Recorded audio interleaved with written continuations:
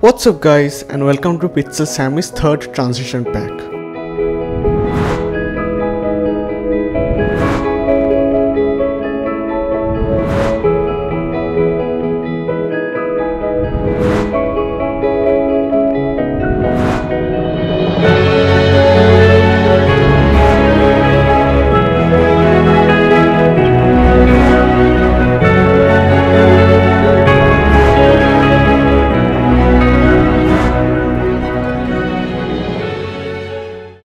First which you need to do is import the presets on Premiere Pro by going to the effects panel and clicking on the presets pack and right click and then on import preset and then import the preset.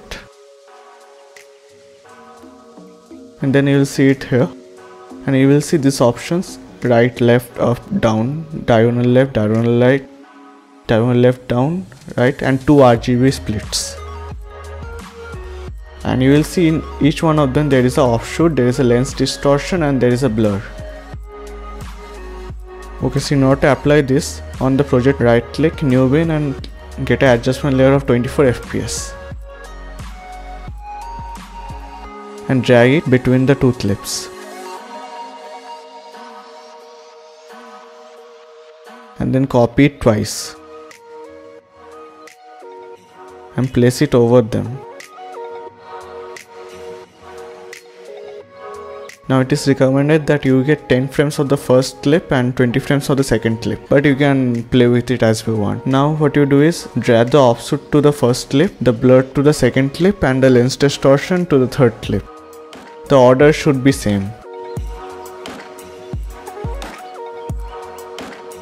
Then you get the transition after you render but you can play with it like you can disable the lens distortion to get a sliding effect. You can disable the blur to get a non-blurry effect and you can disable the offset to get a blur lens distortion effect. And you can add a RGB split to all the transitions. To do that cut the portion of the clip where the adjustment layer is placed and copy it twice Place the adjustment layers a bit on the top and drag and drop the clips over them. And then nest these clips, nest the individual clips. I should have done this before but I forgot but in order to save time you can do this. You can nest them before and then copy it. Nest each and one of them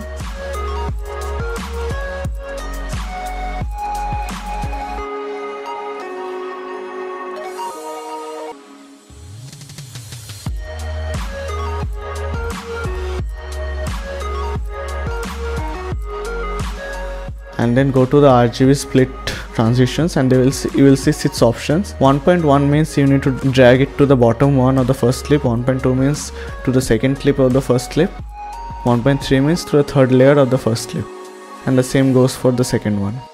2.1 means the first layer of the second clip 2.2 means second layer of the second clip 2.3 means third layer of the third clip and then after that you get a sweet RGB effect along with the sliding effect so that is pretty much it guys. Hope you liked the video. Subscribe to my channel for more such transitions and tutorials on cinematography and photography.